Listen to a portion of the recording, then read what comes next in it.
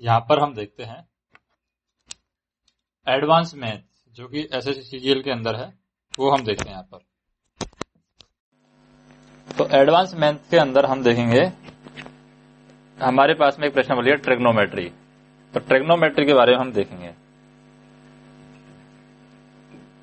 कौन सी प्रश्नावली हमारे पास में ट्रिग्नोमेट्री ट्रिग्नोमेट्री यानी त्रिकोणमिति। तो हिंदी और इंग्लिश दोनों के अंदर देखेंगे हम, यहाँ पर। पहली बात तो देख लेते हैं ट्रिग्नोमेट्री होती क्या है। The branch of mathematics that deals with the study of relationship between the sides and angle of a triangle is called trigonometry यानी जो गणित की वह शाखा, जो भुजाओं और कोणों के साथ में त्रिभुज के बारे में अध्ययन करने की जानकारी देती है, उसे हम त्रिकोणमिति कहते हैं। अब त्रिकोणमिति के अंदर हम देखते हैं उसके रेशियो किस तरीके से बनते हैं। जैसे मान लीजिए, एक हमारा राइट एंगल मान लेते हैं, इसी पर पूरी त्रिकोणमिति डिपेंड रहती है। तो ये जैसे कि हमारा राइट एंगल है।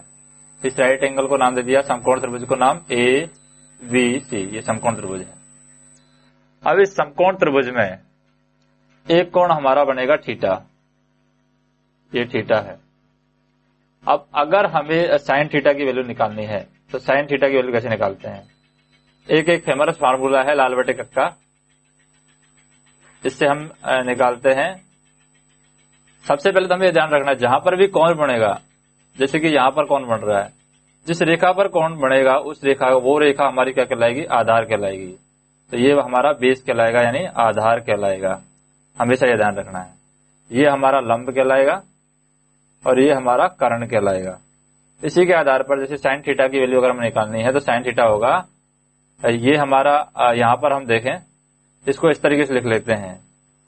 Sine theta, cos theta, tan theta, और यहाँ पर लाल, लंब, आधार, लंब।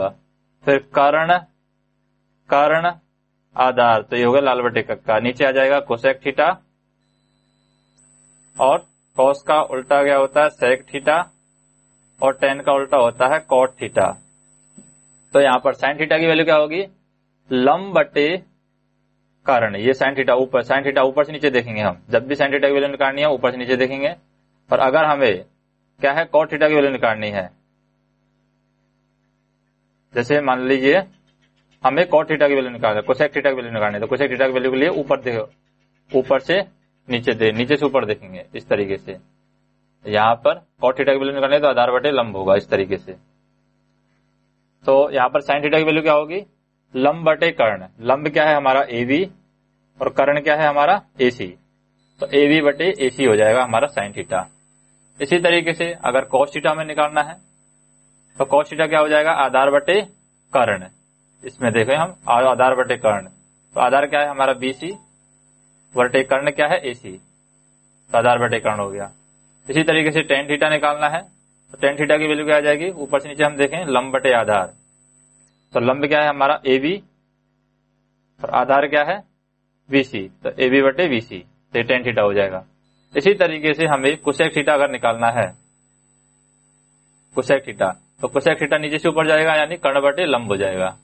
कर्ण क्या है हमारा ए सी बटे लंब क्या है हमारा ए बी ये कुशेक थीटा हो जाएगा।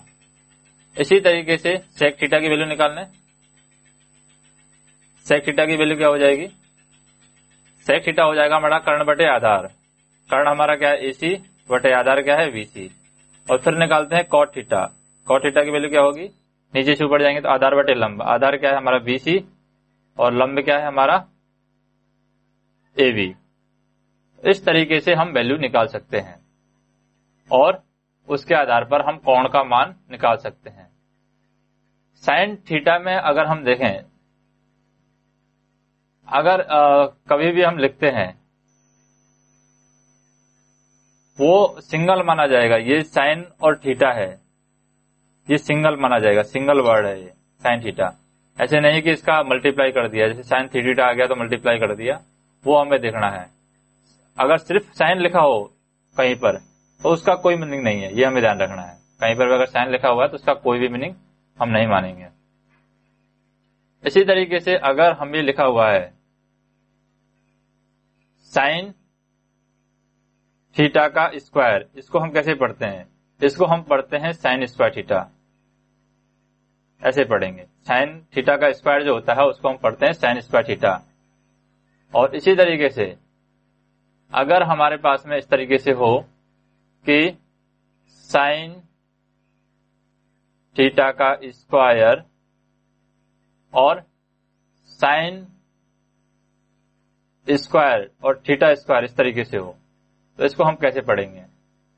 तो इसमें अगर थीटा के भी स्क्वायर दे रखा है तो उसमें हमें देखना है कि ये क्या होता है? साइन स्क्वायर थीटा और साइन स्क्वायर टू थीटा होता है, ये वाला वर्ड तो उसके आधार पर हमें ये कैलकुलेट करना है कि ये क्या वर्ड है, वो आ रहा है यहाँ पर। तो इसको हमें ये देखना है कि ये साइन स्क्वायर थीटा इस तरीके से हम पढ़ते हैं साइन स्क्वायर थीटा इस तरीके से हम इसको साइन स्क्वायर थीटा को नहीं पढ़ते हैं तो ये गलत है। इसी तरीके से हम देखते हैं, अगर हमारे पास में दिया हो साइन थीटा की पावर अगर दे रखी है माइनस वन तो इसको हम पढ़ते हैं one divide by sine theta क्योंकि ये पावर माइनस वन होती है, ये इनवर्स बोलते हैं तो साइन इनवर्स होता है, one divide by sine theta अब हम देखें जैसे रिलेशन हमने देख लिया, किस तरीके का वैल्यू को क्या क्या बोलते हैं उसको। अब हम देखते हैं रेसिप्रोकल जो रिलेशन होते हैं रेसिप्रोकल रिलेशन मतलब क्या है? जैसे साइन थीटा है। साइन थीटा है, वो रेसिप्रोकल होता है कुसेक थीटा का तो इसको हम लिखते हैं, one divide by cosec theta तो इसको हम, हमारी क्या है? थ्योरम क्या बनेगी? साइन थीटा मल्टीप्लाई कर देते हैं कुसेक थीटा से तो हमारे पास में एक आता है। क्योंकि साइन थीटा को कन्वर्ट कर देंगे थीटा क्योंकि साइन थीटा को हम क्या कर देते हैं? One divide by cosec theta कर देंगे। कुसेक थीटा और इधर यहाँ पर कुसेक थीटा पहले से है तो ये दोनों आपस में कैंसिल आउट हो जाएगा और वन बचेगा हमारे पास। इस तरीके से थ्योरम बनती है। साइन थीटा मल्टीप्लाई करेंगे कुसेक थीटा से तो ये वैल्यू आएगी वन इसी तरीके से अगर हम कॉस थीटा को मल्टीप्लाई करते हैं सेक थीटा से तो भी वैल्यू हमारे पास में वन आती है, क्योंकि कॉस थीटा इक्वल टू होता है one divide by sec theta. इसी तरीके से हम देखते हैं टेन थीटा और कॉट थीटा का रिलेशन क्योंकि टेन थीटा और कॉट थीटा भी आपस में उल्टे होते हैं, और रेसिप्रोकल रिलेशन रहेगा टेन थीटा कॉट थीटा का भी।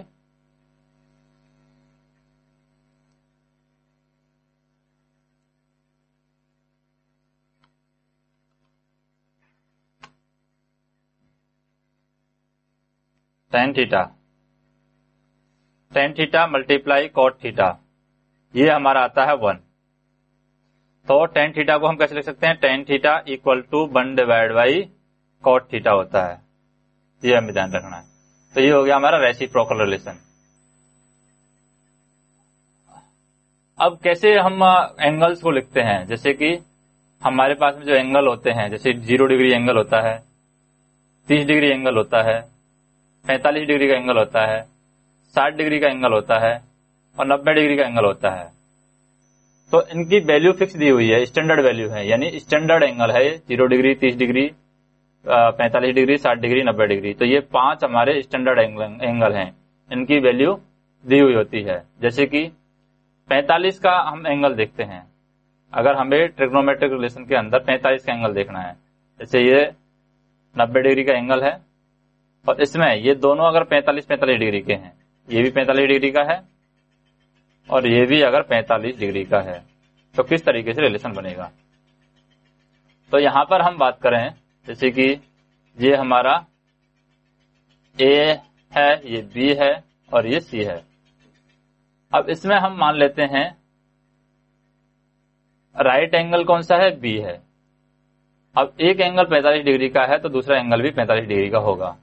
इसका मतलब क्या है कि अगर हम एक भुजा यहाँ से खींच देते हैं, यहाँ पर राइट एंगल से, को दो भागों में बांट देते हैं इस तरीके से। एक भुजा हमने यहाँ पर खींची तो यहाँ पर भी नब्बे डिग्री कौन बढ़ रहा है? ये भुजा खींच दी हमने। नब्बे डिग्री कौन बढ़ रहा है। तो ये नब्बे डिग्री का कौन बनेगा तो यहाँ पर पैंतालीस डिग्री का बनेगा, यहाँ पर भी पैंतालीस डिग्री बनेगा।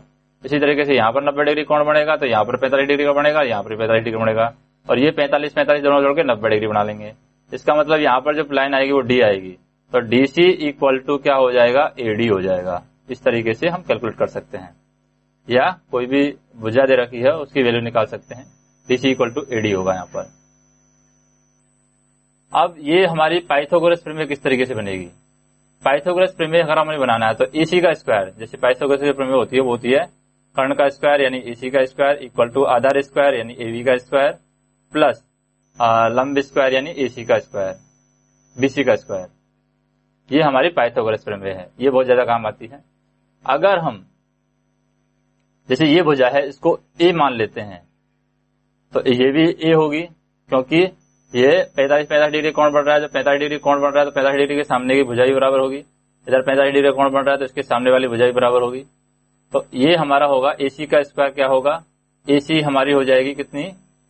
ये ए, ए भुजा है ये ए भुजा है और ये एसी है ये हमें पता नहीं है तो उसके अकॉर्डिंग हम निकाल तो एसी की वैल्यू क्या आएगी? तो ये A square plus A square ये एसी का स्क्वायर हमें निकालना है। तो एसी का स्क्वायर आ जाएगा, ये हो जाएगा two A square A square में से तो ए बाहर आ जाएगा, लेकिन टू का अंडर रूट निकालेंगे हम, क्योंकि यहाँ पर स्क्वायर हटा देते हैं तो ए सी का वैल्यू आ जाएगा। ए अंडर रूट टू ये ए सी का वैल्यू आ जाएगा, यानी ये कर्ण की वैल्यू आ जाएगी। अब हमें इसमें 45 का मान निकालना है साइन 45 का मान। जैसे ये वाला है, यहाँ पर अगर हमें साइन 45 का मान निकालना है तो साइन 45 का मान कैसे निकालेंगे? तो साइन 45 का मान क्या होगा? सबसे पहले तो लाल बटे का से हम देखें क्या है साइन का मान। लंबटे कर्ण। लंबटे कर्ण लंब क्या है हमारा? वीसी बटे कर्ण की वैल्यू क्या है? एसी अब बीसी की वैल्यू क्या है हमारी? बीसी की वैल्यू हमने ए मानी है। और एसी की वैल्यू क्या आई है? ए अंडर रूट टू यानी ए से ए कट जाएगा तो साइन पैंतालीस का मान कितना आ जाएगा? साइन पैंतालीस का मान आ जाएगा वन अंडर रूड टू इस तरीके से हमने कैलकुलेट किया साइन पैंतालीस का मान। अब इसी तरीके से हम कॉस पैंतालीस का मान भी निकाल सकते हैं टेन पैंतालीस का मान भी निकाल सकते हैं सेक पैंतालीस का मान भी निकाल सकते हैं। साइन पैंतालीस का मान निकाल लिया। अब हम निकालना चाह रहे हैं, मान लीजिए, कि किसका कॉस पैंतालीस का मान? तो कॉस पैंतालीस का मान क्या आएगा? कॉस पैतालीस का मान आ जाएगा कॉस क्या होता है? आधार बटे आधार बटे कर्ण। आधार क्या है हमारा? ए। और कर्ण क्या है हमारा? वही ए अंडर रूट टू। यानी कॉस पैंतालीस का मान भी हमारा कितना आ जाएगा? वन बटे अंडर रूड टू। इसी तरीके से मान लीजिए हमें टेन पैंतालीस का मान निकालना है। टेन पैंतालीस का मान कैसे आएगा? टेन पैंतालीस का मान क्या है? लंब बटे आधार। लंब क्या है हमारा? ए। और आधार भी क्या है? ए। तो ए से ए कट जाएगा, यानी टेन पैंतालीस का मान क्या आ जाएगा? एक आ जाएगा। तो टेन पैंतालीस की वैल्यू हमारी एक होती है। इसी तरीके से अगर हम इनका उल्टा निकालें, जैसे कि साइन का हो गया कॉस का हो गया टेन का हो गया। अब इनके रेसिप्रोकल के मान निकाले। मतलब साइन की जगह हम निकाले कॉस कॉस पैंतालीस का मान। तो कॉस पैंतालीस का मान क्या होगा? इसका उल्टा कर देंगे, यानी वन बटे रूट टू का उल्टा करेंगे तो क्या हो जाएगा? यानी वन डिवाइड बाई वन बटे रूट टू तो रूट टू ऊपर चला जाएगा, एक से कट जाएगा, यानी रूट टू वैल्यू आ जाएगी। इसी तरीके से ये हो गया हमारा किसका? कॉस पैंतालीस का। यानी कॉस पैंतालीस तो निकाले लिया हमने सेक पैंतालीस का हुआ है ये।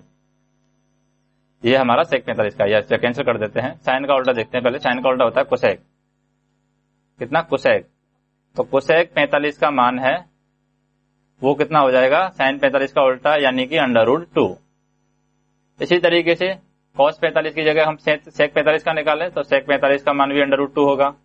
इसी तरीके से टेन पैंतालीस की जगह हम कॉट पैंतालीस का निकालें। तो कॉट पैंतालीस का मान भी क्या होगा? एक का उल्टा एक ही होगा तो एक आ जाएगा पहले। तो ये 45 वाले एंगल हमने निकाल लिए हैं।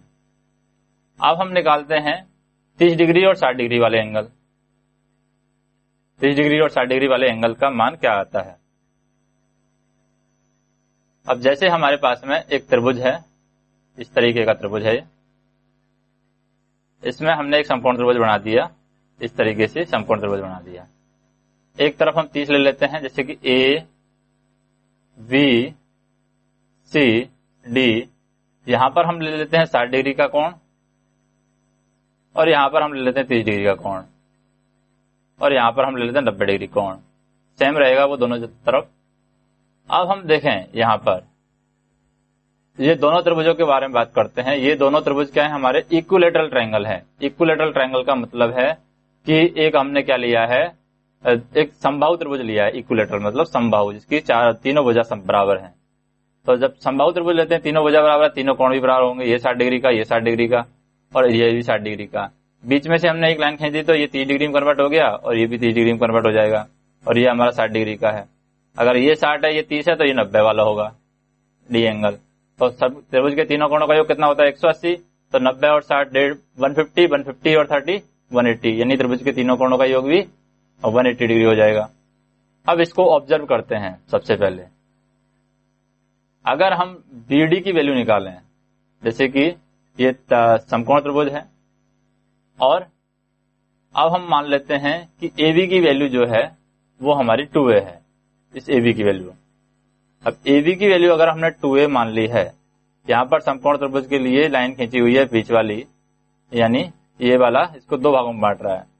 तो ये एंगल को दो भागों में बांट रहा है तो इस भुजा को भी दो भागों में बांटेगा। यहाँ पर ये भुजा टू ए की है, ये भुजा की लंबाई भी टू ए है, ये भुजा की लंबाई भी टू है। तो ये दो, जब भुजा दो दो टू ए की है तो ये भुजा ए होगी और ये भुजा ए होगी। ऐसे हम कह सकते हैं। इसका मतलब हम कह सकते हैं कि जो वी डी की वैल्यू है, वो वी डी की वैल्यू क्या आ जाएगी? ए आ जाएगी। तो अगर हमें ए डी की वैल्यू निकालनी है, इस वाली भुजा की वैल्यू निकालनी है तो ए डी की वैल्यू क्या कैसे निकालेंगे? ए डी का स्क्वायर जो होगा, वो कैसे होगा? ए बी का स्क्वायर पाइथागोरस प्रमेय से ए बी के स्क्वायर में से वी डी का स्क्वायर माइनस कर देंगे। अब ए बी का स्क्वायर क्या होता है हमारा? ए बी हमारा टू ए है। टू ए का स्क्वायर मतलब फोर ए स्क्वायर और बी डी का स्क्वायर बी डी क्या है हमारी ए तो ए का स्क्वायर माइनस कर देंगे। तो ये हो जाएगा थ्री ए स्क्वायर अब ए डी स्क्वायर की वैल्यू आई है हमारी थ्री ए स्क्वायर तो ए डी की वैल्यू क्या आएगी? यहाँ पर. क्या करते हैं? ए बाहर आ जाएगा और अंडर रूड तीन तीन अंदर चला जाएगा. तो एडी की वैल्यू आ गई है ए अंडर रूड तीन. अब एडी भी हमारे पास में आ गया ए अंडर रूड तीन. अब हम कोई भी वैल्यू निकाल सकते हैं. पहले साइन तीस का मान निकालना है. किसका मान निकालना है? साइन तीस का मान. तो साइन तीस का मान कैसे निकालेंगे? साइन थीटा होता है वही हम देखते हैं लाल बटे कक्का से. साइन थीटा क्या होता है? लंब बटे कर्ण, लंब क्या है हमारा? अब साइन तीस की बात कर रहे हैं। तीस की बात कर रहे हैं मतलब एंगल यहाँ पर बन रहा है। ठीक है? एंगल यहाँ पर बन रहा है तो आधार कौन सा होगा? ये वाला आधार होगा। ये वाली लाइन है जो आधार होगी।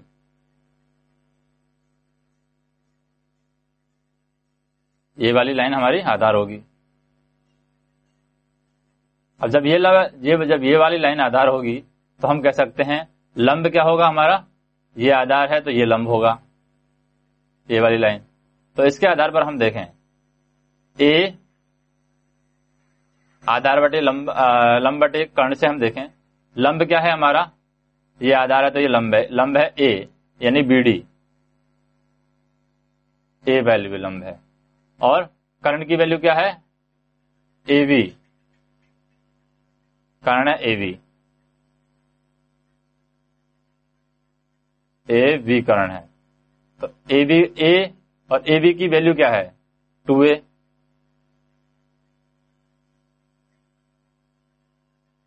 अब हम देखें कि ये ए से कट जाएगा, यानी वन डिवाइड बाई टू। तो साइन तीस का मान क्या आ गया? एक बटे दो आ गया। अब साइन तीस का मान एक बटे दो है। अगर हमें कुशेक तीस का मान निकालना है तो कुशेक तीस का मान का उल्टा हो जाएगा, यानी दो आ जाएगा। तो कुशेक तीस का मान दो आ जाएगा हमारे पास में, और साइन तीस का मान एक बटे दो आ गया। अब इसी तरीके से मान लीजिए हमें कॉस तीस का मान निकालना है।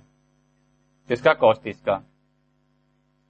तो कॉस थीटा क्या होता है? आधार बटे लंब। आधार क्या है हमारा? आधार यही रहेगा एडी एडी की वैल्यू क्या रहेगी यहाँ पर? एडी की वैल्यू हमारे पास में जो हमने कैलकुलेट की है। ए अंडर रूट तीन। और कर्ण क्या है हमारे पास में? टू ए तो ए से ये कैंसिल आउट हो जाएगा, यानी अंडर रूट तीन बटे दो आ जाएगा। तो कॉस तीस का मान अंडर रूट तीन बटे दो आया है। तो कॉस तीस का उल्टा क्या होता है? सेक थीटा तो सेक तीस का मान कितना आएगा? दो बटे अंडर रूट तीन।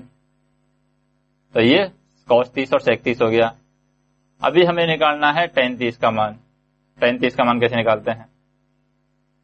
टेन तीस तीस का मान निकालने के लिए टेन का सूत्र क्या होगा? लंब बटे आधार। लंब क्या है हमारा? इसके लिए लंब हमारा बी डी है बी डी की वैल्यू क्या है? ए तो लंब ए डिवाइड बाई आधार। आधार क्या है हमारा? एडी एडी की वैल्यू क्या है? एडी की वैल्यू हमने निकाली है ए अंडर रूट तीन। तो ए से कैंसिल आउट हो जाएगा, यानी टेन तीस का मान आ गया। One divide by root three तो टेन का उल्टा क्या होता है? कॉट तो कॉट तीस का मान आ जाएगा उल्टा, यानी अंडर रूट तीन। तो ये हमारे पास मान आ गए हैं। साइन तीस का मान आ गया है कोस तीस का मान आ गया है टेन तीस का मान आ गया है। और कोसेक तीस का मान आ गया है हमारे पास में। और कॉस तीस का मान आ गया है सेक तीस का मान आ गया है।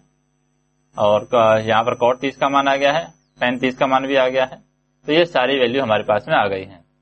इसी तरीके से हम साइन साठ का मान निकाल लेंगे।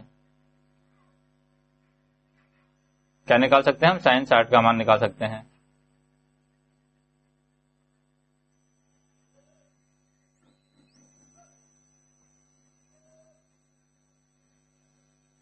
तो यहाँ पर हम ले।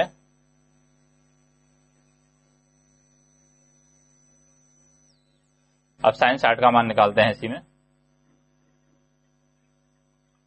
साइन साठ। तो साइन साठ का मान कैसे निकालेंगे? अब एंगल कहाँ बन रहा है? यहाँ पर नीचे बन रहा है एंगल तो ये बना लेते हैं हम।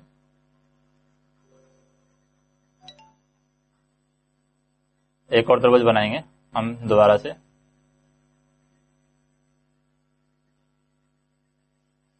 ये हमने त्रिभुज बना लिया। ए वी सी ये डी बना लिया। अब ये क्या है? हमारा साठ था और ये तीस है। अब इसके आधार पर बनाए। साइन साठ का मान। साइन साठ का मान मतलब कि एंगल यहाँ बन रहा है तो आधार ये माना जाएगा बी डी और भुजा क्या हम मानी थी हमने? ये टू ए मानी थी, ये भी टू ए मानी थी और ये भी टू ए मानी थी। और ये वाली क्या निकली थी? ये वाली जो अंदर वाली भुजा थी, वो ए अंडर रूट तीन निकली थी। ए अंडर रूट तीन। अब साइन साठ का मान निकालना है। साइन साठ का मान मतलब कि लाल बटे कक्का से भी अगर हम सॉल्व करें साइन साठ का मान तो क्या आएगा? लंब बटे कर्ण आएगा। अब लंब क्या है हमारे पास में? अगर साठ एंगल नीचे दिया हुआ तो लंब हमारा ए अंडर रूट तीन होगा। और कर्ण क्या होगा? कर्ण हमारा टू ए होगा। तो ए से कैंसिल आउट हो गया, यानी अंडर रूट तीन बटे दो आ गया।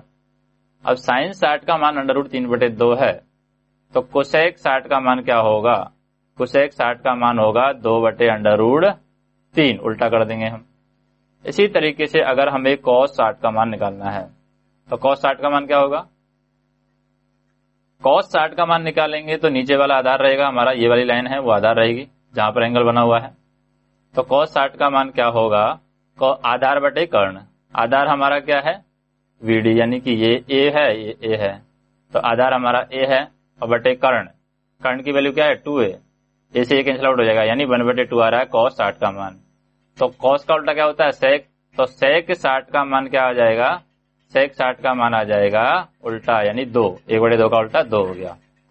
अब ऐसे निकालते हैं टेन साठ का मान। टेन साठ का मान मतलब लंब बटे आधार। और लंब क्या है हमारे पास में? ए अंडर रूट तीन। और आधार क्या है? हमारे पास में ए ए से ए कट जाएगा, यानी अंडर रूट तीन आ गया टेन साठ का मान। अब कॉट साठ का मान निकालना है तो इसका उल्टा हो जाएगा, यानी एक में इसका भाग दे देंगे। तो कॉट साठ का मान आ जाएगा, एक बटे अंडर रूट तीन। तो हमारे पास में ये वैल्यू भी आ गई है। अभी हमारे पास में तीस, साइन तीस का मान और नब्बे वाले मान भी सारे आ गए हैं। अब हमें ज़ीरो डिग्री और नब्बे डिग्री का मान निकालना है। कि ज़ीरो डिग्री और नब्बे डिग्री का किस तरीके से मान निकाल सकते हैं। अब ज़ीरो डिग्री, नब्बे डिग्री का कैसे मान निकालेंगे? जैसे कि हमें मान निकालना है साइन ज़ीरो का मान। तो पहली बात तो साइन ज़ीरो का मान क्या होता है, वो हमें पता होना चाहिए। और उसके बाद में हम कैलकुलेट करेंगे।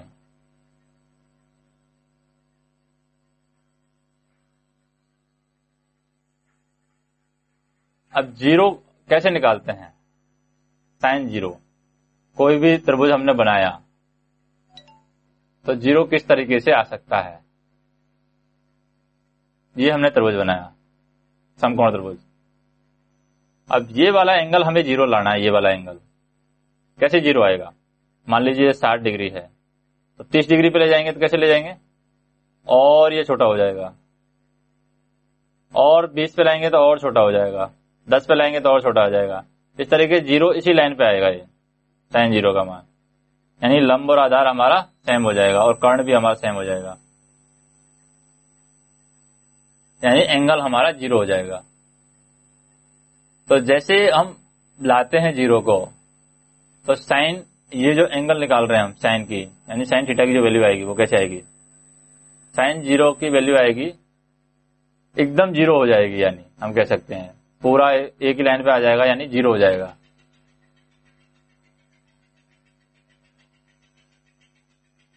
और अगर हम 90 डिग्री निकाल रहे हैं, साइन 90 का मान, साइन ज़ीरो का मान तो ज़ीरो हो गया, साइन 90 का मान निकाल रहे हैं। तो साइन 90 का मान कैसे निकालेंगे? अभी साइन 90 का मान हम ऐसे निकाल सकते हैं कि ये जो एंगल है, ये पूरा बढ़ता जाएगा बढ़ता जाएगा। जैसे हमने ये त्रिभुज बनाया। अब हम 90 डिग्री निकालना चाह रहे हैं, साइन 90 यहीं पर एंगल पर ही। तो 90 डिग्री में इस तरीके बढ़ता जाएगा ये। इधर कट जाएगा, फिर ये 90 बढ़ जाएगा, इधर कट जाएगा तो ये पूरा इस तरीके से हो जाएगा। साइन 90 डिग्री के लिए। तो साइन 90 डिग्री जब हो जाएगा तो ये भुजा और ये भुजा बराबर हो जाएगी, यानी लंब और कर्ण यहाँ पर बराबर हो जाएँगे। लंब और कर्ण बराबर हो तभी ये 90 डिग्री आ सकता है, इस तरीके से हम कह सकते हैं, ये जो त्रिभुज था, अगर ये लंब और कर्ण बराबर हो जाएँगे, क्योंकि लंब को ही हम 90 डिग्री की तरफ़ बढ़ा रहे हैं पहले, अब ये जो हमारे पास त्रिभुज है, अब क्या कर रहे हैं हम? ये लंब को ही हम 90 डिग्री की तरफ़, यानी लंब को ही हम बढ़ा रहे हैं, ताकि 90 डिग्री आ जाए। तो ये लंब इधर मूव करता हुआ, इधर आएगा फिर इधर आएगा इधर आएगा इधर आएगा, यानी लंब इसके बराबर हो जाएगा 90 डिग्री के लिए। तो हम कह सकते हैं साइन नब्बे का मान क्या आ जाएगा? एक आ जाएगा। यानी कोई भी त्रिभुज जब हम बनाते हैं तो उसमें साइन ज़ीरो का मान और साइन नब्बे का मान हम निकाल सकते हैं।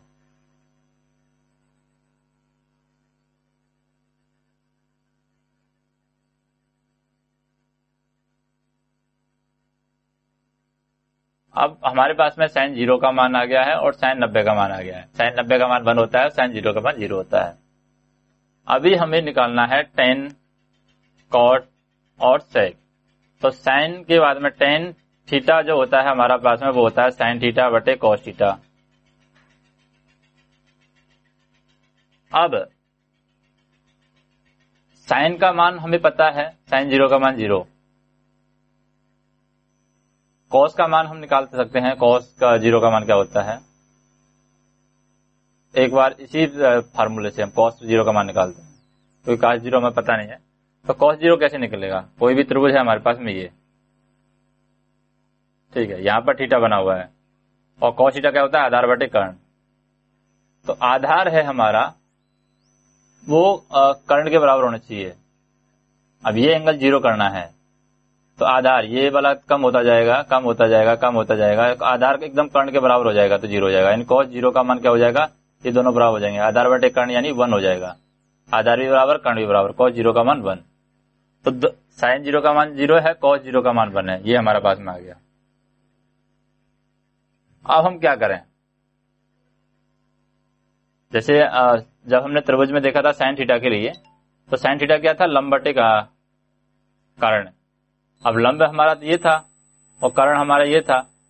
अभी हमें एंगल ज़ीरो लाना है, ये वाला ज़ीरो तो ये वाला एंगल ज़ीरो कब हो सकता है? ये वाला एंगल ज़ीरो तभी हो सकता है जब लंब हमारा ज़ीरो हो, लंब बटे कर्ण में। लंब पूरा खत्म कर दे, तभी तो ज़ीरो होगा ये। पूरा ज़ीरो हो जाएगा लंब। यानी एल की वैल्यू पूरी ज़ीरो हो जाएगी। कम होते होते होते होते एल की वैल्यू ज़ीरो हो जाएगी। तभी तो ये एंगल ज़ीरो होगा।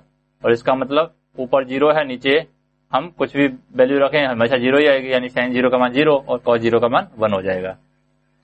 अब इससे हम टेन थीटा को निकालते हैं। टेन थीटा होता है साइन थीटा बटे कॉस थीटा अब टेन थीटा में हम देखें साइन ज़ीरो का मान क्या है? ज़ीरो कॉस ज़ीरो का मान क्या है? वन अब कोई भी संख्या है ज़ीरो में, कभी भी कोई भी संख्या का भाग दे देते हैं ज़ीरो ही आती है। तो टेन ज़ीरो टेन थीटा है। यानी टेन जो नाइन्टी है, उसका मान भी टेन ज़ीरो है। सबसे पहले देखते हैं टेन ज़ीरो टेन ज़ीरो का मान भी ज़ीरो हो जाएगा।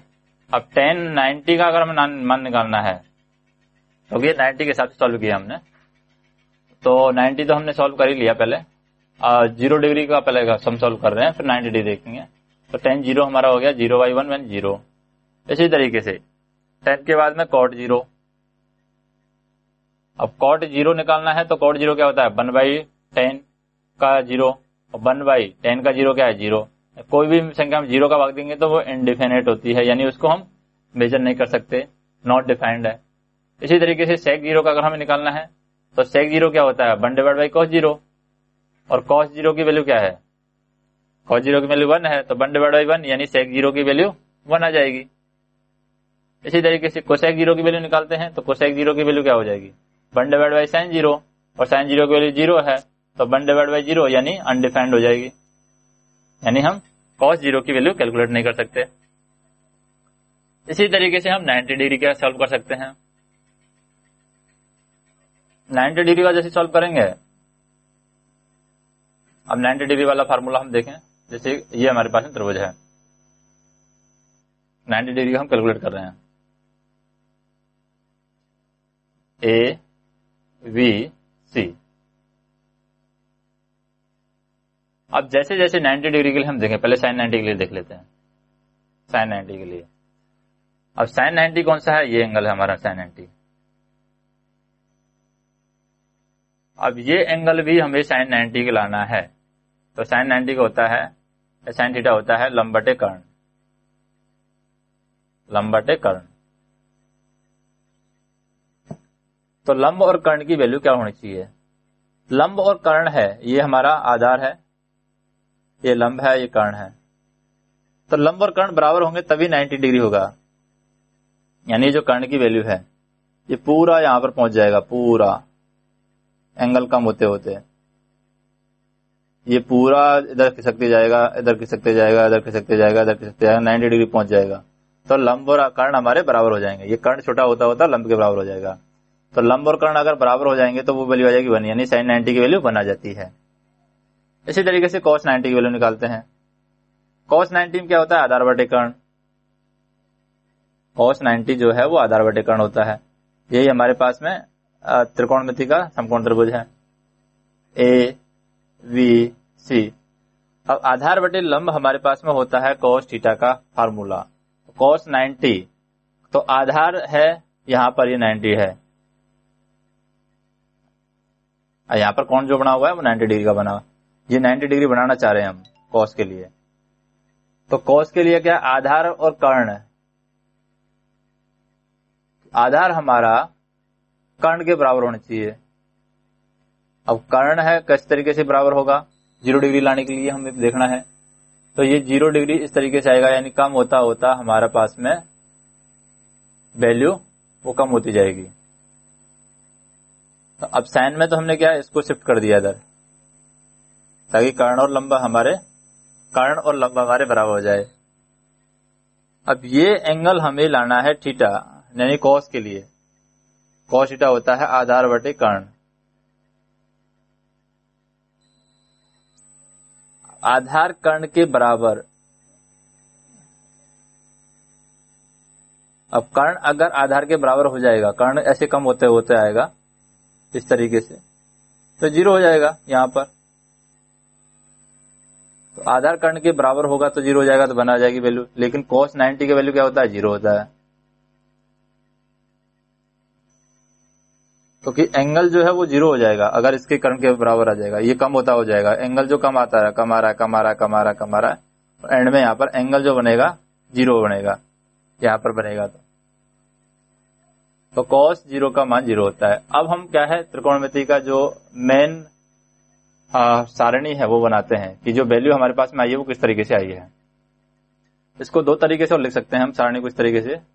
यानी छह हमारे पास में एंगल है sine theta cos theta tan theta अब टेन का उल्टा लिख देते हैं कॉट थीटा और कॉस का उल्टा लिख देते हैं सेक थीटा और साइन का उल्टा लिख देते हैं कोसेक थीटा इससे हम कैलकुलेट करते हैं। अब एंगल कौन कौन से हमें कैलकुलेट करना है? ज़ीरो डिग्री तीस डिग्री, पैंतालीस डिग्री, साठ डिग्री, नब्बे डिग्री। साइन ज़ीरो का मान ज़ीरो होता है, हमने कैलकुलेट किया है। साइन तीस का मान एक बटे दो होता है। साइन पैंतालीस का मान एक बटे अंडर रूट दो होता है। साइन साठ का मान अंडर रूट तीन बटे दो होता है। और कॉस साइन नब्बे का मान एक होता है। अभी हम इसको ऐसे शिफ्ट कर सकते हैं। इधर से इसको पलट के लिख देंगे। ये वाली को पलट के लिख देंगे। तो वन यहाँ पर आ जाएगा। अंडर रूट तीन बटे दो जैसे यहाँ पर वन आ गया, ये यहाँ पर आ जाएगा अंडर रूट तीन बटे दो, फिर एक बटे दो, एक बटे अंडर रूट दो, फिर ए, ये इधर चला जाएगा यानी एक बटे दो, और फिर ये ज़ीरो इधर चला जाएगा यानी ज़ीरो। अब टेन थीटा निकालना है तो sine theta divide by cos यानी ज़ीरो डिवाइड बाई वन, क्या होता है? ज़ीरो। इसमें इसका भाग देंगे तो दो से दो कैंसिल आउट हो जाएगा यानी वन बटे रूट तीन। इसमें इसका भाग देंगे तो अंडर रूट दो से अंडर रूट दो कट जाएगा यानी वन। इसमें इसका भाग देंगे दो से दो कट जाएगा, यानी अंडर रूट तीन, और इसमें इसका भाग देंगे तो वन में ज़ीरो का भाग देते हैं तो वो नॉट डिफाइंड है। इन्फिनिटी या नॉट डिफाइंड आप बोल सकते हैं। इसी तरीके से कॉट का निकालना है तो वन का उल्टा cot one divide by zero infinity यानी डिफाइंड नहीं है। इसका उल्टा क्या हो जाएगा? अंडर रूट तीन। इसका उल्टा एक का उल्टा एक ही होता है। अंडर रूट तीन का उल्टा क्या हो जाएगा? वन बटे अंडर रूट तीन। और अनडिफाइंड अनडिफाइंड का उल्टा क्या होगा? यहाँ पर। अनडिफाइंड का उल्टा, यानी वन डिवाइड बाई ज़ीरो इसको भी वन के डिवाइड में कर देते हैं तो ज़ीरो पर चला जाएगा तो यानी ज़ीरो वैल्यू आ जाएगी। तो कॉट ज़ीरो आ जाएगा। या इसको ऐसे भी ले सकते हैं, इधर से हम उठा लेंगे, इसको इधर उठा लिया, इसको इसको हमने इधर उठा लिया, ये यहाँ पर, इसको यहाँ पर उठा दिया, और ये यहाँ पर रख दिया। अब निकालना है सेक थीटा का। तो सेक थीटा में कैसे सेक ज़ीरो का मान कॉस ज़ीरो का उल्टा वन का ज़ीरो वन का उल्टा वन ही रहेगा। फिर अंडर रूट तीन बटे दो का उल्टा हो जाएगा, दो बटे अंडर रूट तीन। फिर एक बटे अंडर रूट दो का उल्टा हो जाएगा अंडर रूट दो। फिर वन बटे दो का उल्टा हो जाएगा, दो।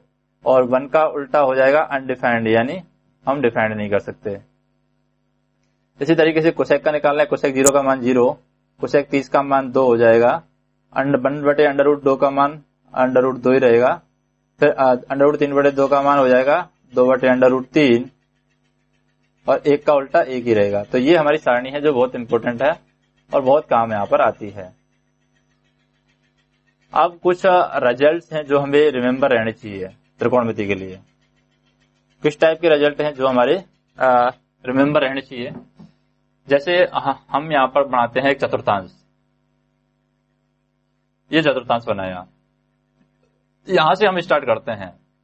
ये ज़ीरो इसको मान लेते हैं।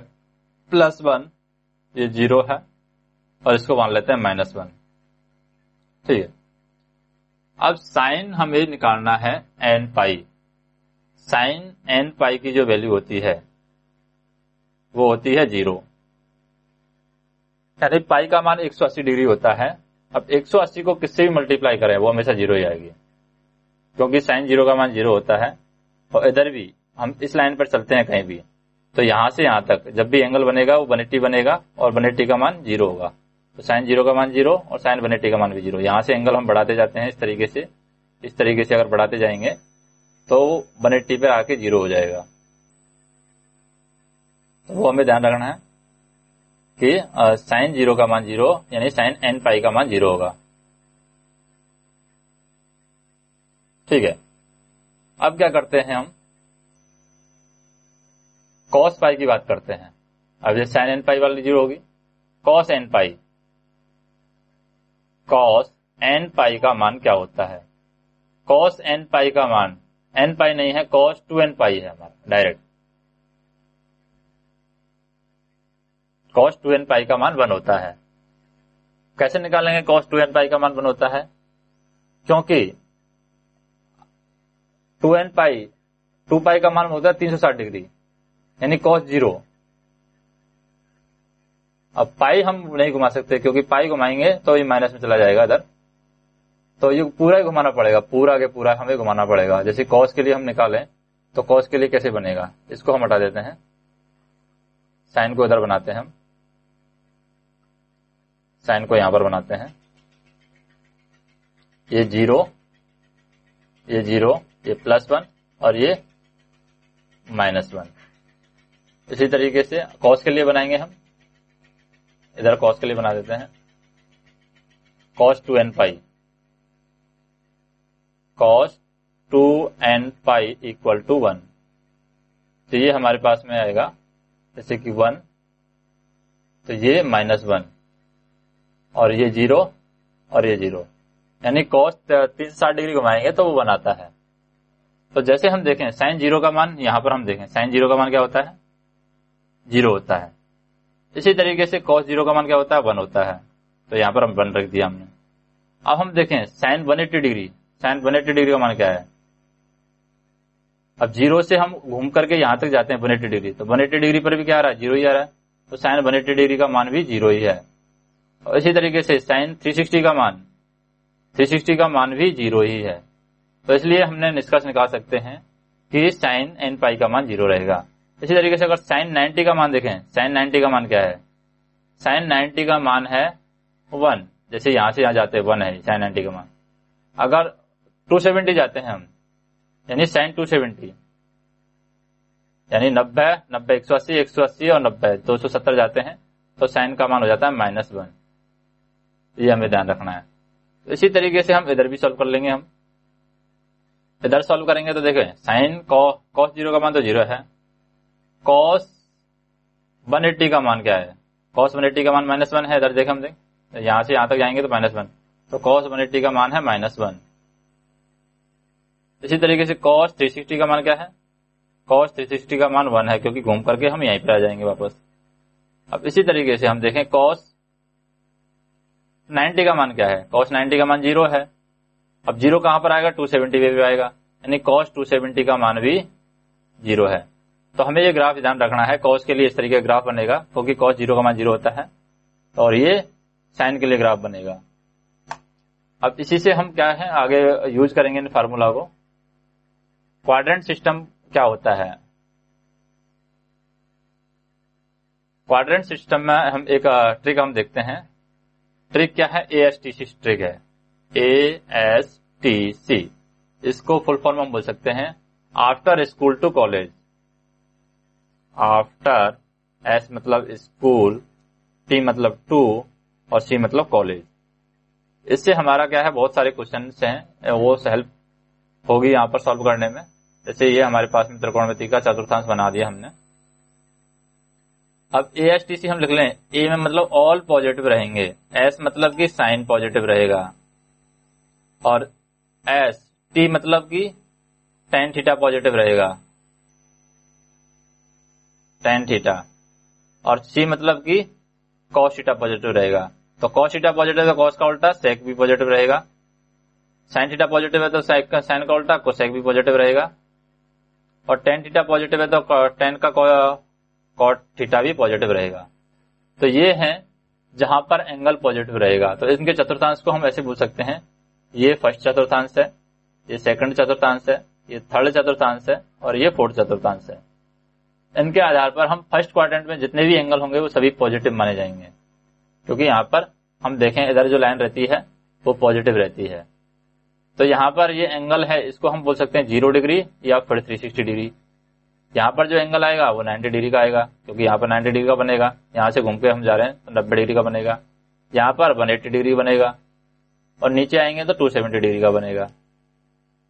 तो इसके आधार पर ही हम निकालते हैं एंगल्स को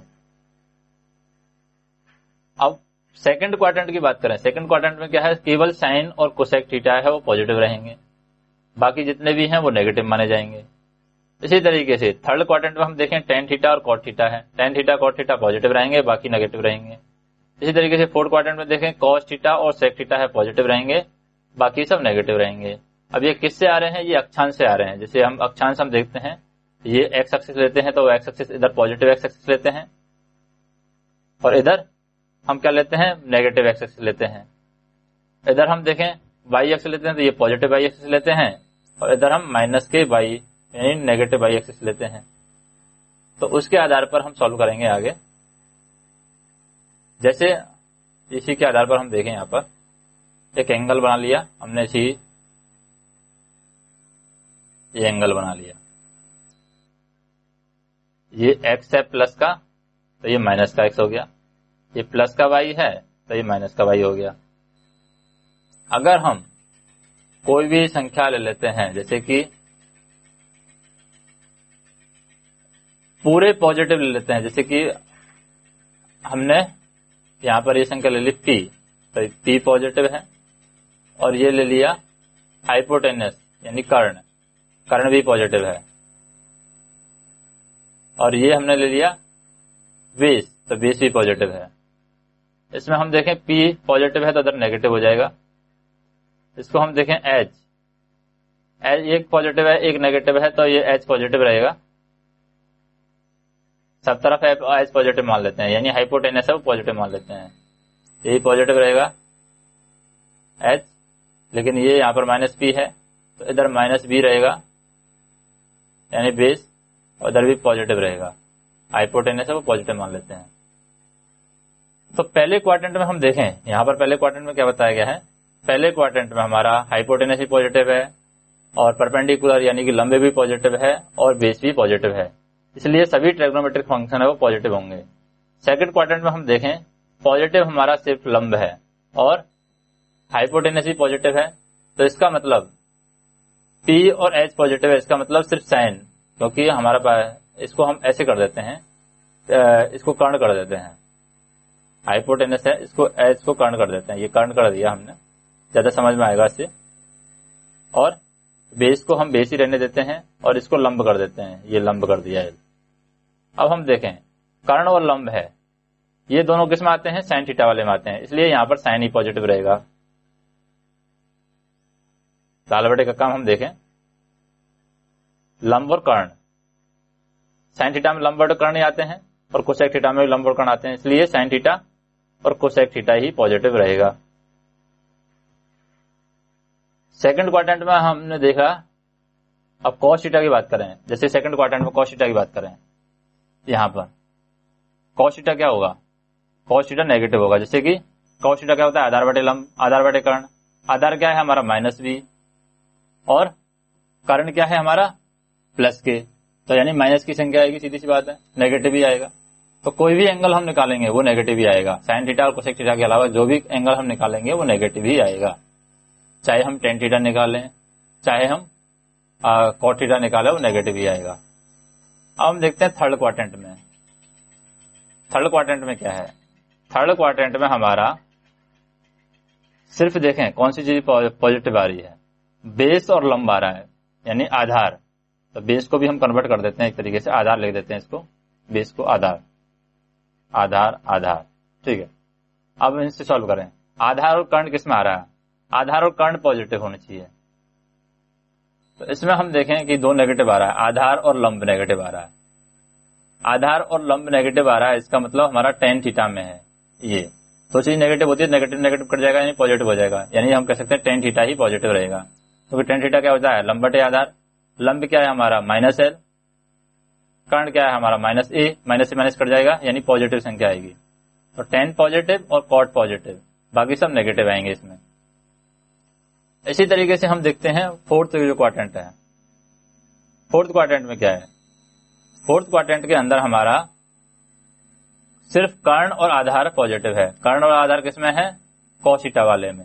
इसका मतलब कॉस थीटा ही पॉजिटिव रहेगा और कॉस का उल्टा सेक ही पॉजिटिव रहेगा। बाकी सब नेगेटिव रहेंगे। तो इस तरीके से हम क्या है, ये पॉजिटिव नेगेटिव डिसाइड करते हैं कि कौन सा एंगल पॉजिटिव रहेगा, कौन सा एंगल नेगेटिव रहेगा। अब हम देखें 90 प्लस थीटा वाले जो कॉन्सेप्ट है। अब टीएफ मेथड जो है, यानी कि हम निकालते हैं वैल्यू वो कैसे निकालेंगे? जैसे 90 प्लस थीटा का फार्मूला हमें निकालना है। या 270 प्लस थीटा का हमें कहीं जाना है तो कैसे पॉजिटिव नेगेटिव रहेगा? जैसे मान लो 90 प्लस थीटा है, कोई फार्मूला में आया है 90 प्लस या माइनस थीटा। अगर 90 से प्लस जाएगा तो sine theta, cosec theta positive रहेगा, और 90 से माइनस में सारे एंगल है वो पॉजिटिव रहते हैं। इसी तरीके से 270 प्लस माइनस थीटा अगर दे रखा है तो 270 से प्लस जाएगा 270 से इधर की साइड जाएगा तो कॉस थीटा और सेक प्लस रहेंगे। और 270 से नीचे रहेगा एंगल तो टेन थीटा और कॉट थीटा नेगेटिव रहेंगे। तो ये हमें ध्यान देना है। तो जो एंगल कहाँ कहाँ पर चेंज होता है, सिर्फ़ 90 डिग्री पे एंगल चेंज होगा और 270 डिग्री पर एंगल चेंज होगा। बाकी 45 तो 450 डिग्री पर एंगल चेंज होगा। यानी साइन थीटा और कोस थीटा है, वो 90 डिग्री से नीचे है, वो सेम रहेंगे। टेन थीटा कोट थीटा बराबर रहेगा सेक थीटा कोसेक थीटा बराबर रहेगा। इंटरचेंज होते हैं। इसी तरीके से 180 प्लस माइनस थीटा में भी हम देख सकते हैं। 90 अब 180 प्लस माइनस थीटा में क्या होगा? 180 प्लस माइनस थीटा यानी 180 से माइनस रहेगा तो साइन थीटा और कोसेक थीटा पॉजिटिव रहेंगे। और जैसे ही ज़्यादा जाएगा 180 से तो टेन थीटा और कॉट थीटा पॉजिटिव रहेंगे। तो यहाँ पर जो एंगल चेंज होगा 180 प्लस माइनस थीटा में, या फिर 360 प्लस माइनस थीटा 360 से भी प्लस हो रहा है तो ऑल पॉजिटिव और माइनस हो रहा है तो कॉस थीटा और सेक थीटा पॉजिटिव रहेगा। तो यहाँ पर भी एंगल कितने पर चेंज हो रहा है? 180 पर चेंज हो रहा है 360 पर चेंज होगा 540 पर चेंज होगा, इस तरीके से चेंज होगा। 90 और 270 के हिसाब से हम देखें तो 90 डिग्री पर एंगल चेंज हो रहा है 270 डिग्री पर एंगल चेंज हो रहा है, और 450 डिग्री पर एंगल चेंज हो रहा है, इस तरीके से एंगल चेंज हो गए। तो पॉजिटिव और नेगेटिव जो साइन है, वो हमें ध्यान रखना है। पॉजिटिव और साइन नेगेटिव साइन इन्हीं के आधार पर लगाना है। जैसे कि मान लो हमें 120 डिग्री निकालना है साइन 120 डिग्री। तो साइन 120 डिग्री का मान पॉजिटिव होगा या नेगेटिव होगा? कैसे निकालेंगे? इसको हम दो तरीके से लिख सकते हैं। 120 को हम लिख सकते हैं साइन 180 एट्टी माइनस के 60 तो 180 में से 60 जाएगा, या फिर हम इसको ऐसे भी लिख सकते हैं साइन 90 प्लस थर्टी। तो ये भी साइन वन ट्वेंटी रहेगा। तो इस तरीके से हमारा जो आंसर है, वो हमेशा पॉजिटिव रहेगा, क्योंकि 180 में से 60 जा रहे हैं, तब भी हमारा पॉजिटिव ही रह रहा है। यानी बीच के बीच बीच में आ रहा है कहीं पे। तो साइन का एंगल हमारा पॉजिटिव ही रहेगा। ये हमें ध्यान रखना है। तो आंसर जो है हमेरा पॉजिटिव रहेगा क्योंकि वन साइन वन ट्वेंटी कौन से मारा है? सेकंड क्वार्टेंट में आ रहा है। इसलिए साइन का जो एंगल है, वो हमारा पॉजिटिव ही रहने वाला है। तो इस तरीके से हम क्या है, उनको कैलकुलेट करते हैं। जैसे मान लीजिए साइन साठ का मान हमें निकालना है। तो साइन साठ का मान कोई से भी मेथड से निकालेंगे, वो पॉजिटिव ही रहेगा। साइन साठ का मान। क्योंकि साइन साठ का मान क्या होता है? साइन साठ का मान होता है अंडर रूट तीन बटे दो। वो पॉजिटिव रहेगा।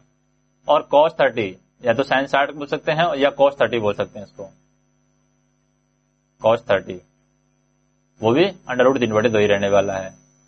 इसी तरीके से हम देखें, मान लो sec two forty sec two forty का मान क्या रहने वाला है? जैसे हम इसको यहाँ से निकाल लेते हैं।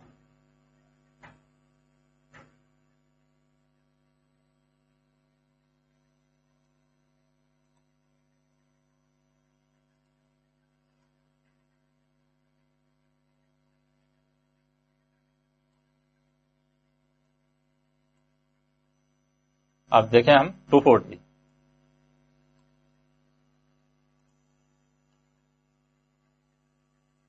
अब क्या देख रहे थे हम? सेक 240 देख रहे थे।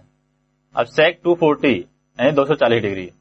अब सेक में 240 240 क्या है? 270 से कम है। तो सेक में 240 माइनस में आएगा वैल्यू आंसर जो है हमारा, वो नेगेटिव में आएगा। क्यों आएगा? क्योंकि 270 से नीचे इधर की साइड होगा ये। और इधर क्या है? टेन और कॉट पॉजिटिव है। सेक पॉजिटिव नहीं है। तो दो सत्तर को कैसे लिख सकते हैं हम? या दो सौ चालीस को कैसे लिख सकते हैं? क्योंकि दो सत्तर से नीचे है तो नेगेटिव ही आएगा। तो इसको हम लिख सकते हैं सेक को।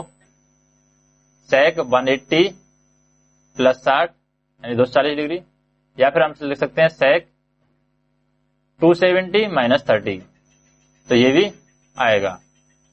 इसी तरीके से अब ये वैल्यू क्या है? सेक साठ। ये वैल्यू है, इसको हम क्या लिख सकते हैं?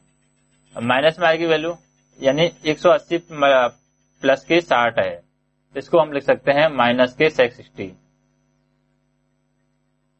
यानी माइनस के, जो सेक्स सिक्सटी है सेक्स सिक्सटी की वैल्यू क्या होगी? सेक्स सिक्सटी की वैल्यू माइनस के टू होगी। क्योंकि तो माइनस का सेक्स सिक्सटी है ये। 180 से नीचे। 180 से प्लस हो रहा है, यानी माइनस का सेक्स सिक्सटी है।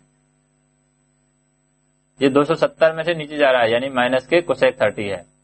इसको हम बोल सकते हैं माइनस के कुशेक थर्टी सेक सिक्सटी या फिर इसको बोल सकते हैं माइनस के कुशेक थर्टी तो माइनस के कुशेक थर्टी है, वो भी हमारा माइनस के दो रहेगा।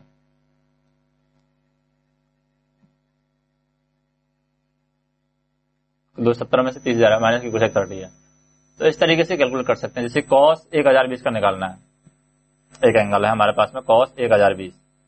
तो कैसे निकालेंगे? एक हज़ार बीस को निकल सकते हैं हम तीन सौ साठ इंटू तीन माइनस तीन सौ साठ इंटू तीन माइनस तो तीन सौ साठ इंटू तीन कितना हो गया? ज़ीरो, छत्तीस, अठारह लग एक एक हज़ार अस्सी। एक हज़ार अस्सी में से साठ माइनस कर देते हैं। तो ये तीन सौ साठ का मल्टीपल है, उसके अकॉर्डिंग हम देखें। तो यहाँ पर हम देखें कि ये कितना हो रहा है? तीन सौ साठ इंटू तीन माइनस के सिक्सटी हो रहा है। तो माइनस के सिक्सटी आ रहा है। तीन सौ साठ तो ये फिक्स हो गया पूरा। माइनस का सिक्सटी आ रहा है मतलब नीचे की साइड जा रहा है। नीचे की साइड में कॉस्ट पॉजिटिव रहता है। इसका मतलब कॉस्ट साठ का मान कितना आएगा? एक बटे दो आएगा पॉजिटिव में ही। तो जैसे हम कैलकुलेट करते हैं। उसके बाद में दूसरे तरह के एंगल है, वो हम बाद में देखेंगे। नेक्स्ट वीडियो के अंदर।